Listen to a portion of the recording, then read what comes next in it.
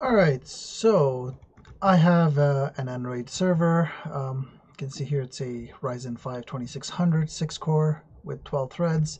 Uh, and I had a error a couple of days ago with uh, this specific drive here.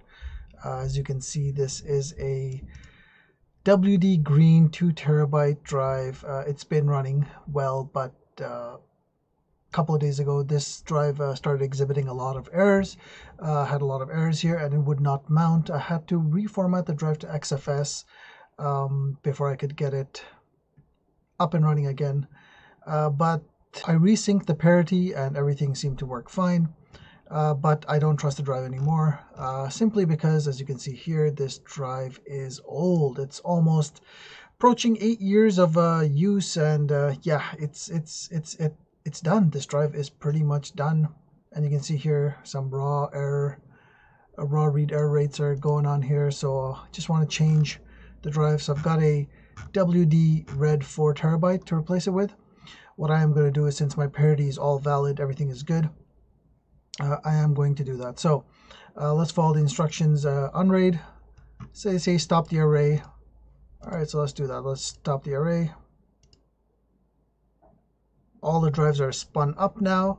Uh, it's going to stop some services, uh, mostly the Docker's uh, containers that I have. I don't have any VMs, but uh, Docker containers are going to stop. Once those are all stopped, it's going to uh, take the array offline. And depending on the uh, amount of Docker containers you have, this might take a couple of minutes, so just sit tight while that's done.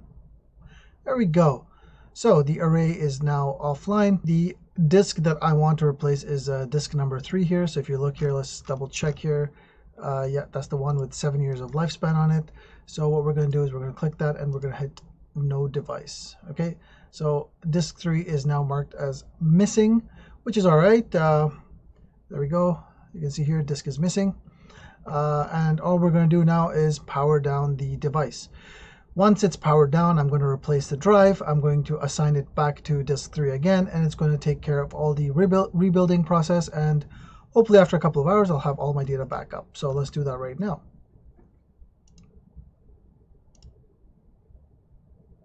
Okay, so we're back again. Did the hard drive swap. It was pretty easy. And as you can see here, Unraid started up. The array is uh, currently uh, disabled. It stopped and you can see here that disk uh, 3 is missing and you can see that it's the 2 terabyte drive that is removed. However, the drop down now shows the 4 terabyte disk there. The This is the WD Red.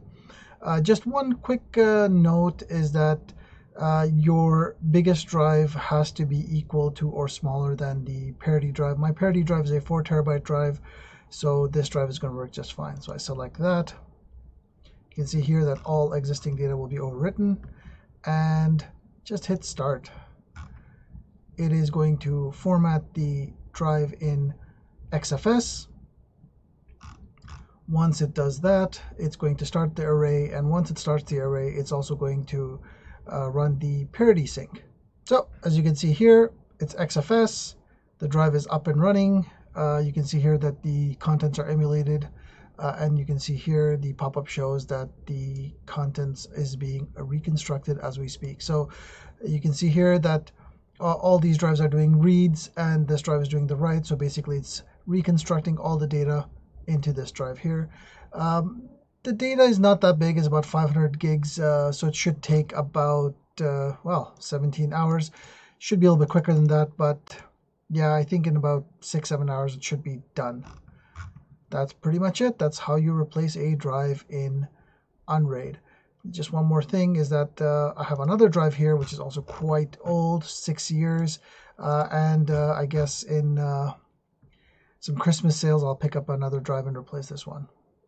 But the procedure to do the uh, drive replacement is going to be exactly the same. The only thing is that when you're doing this drive, you cannot uh, say stop it and change it to another drive. You're going to ruin your whole array. So when this finishes, that's when I'll do this drive. So that'll be probably be in a couple of days. All right, guys, so that is how you replace a faulty drive in Unraid. Pretty, pretty easy, pretty slick. Unraid has been great to me, and yeah, isn't hard.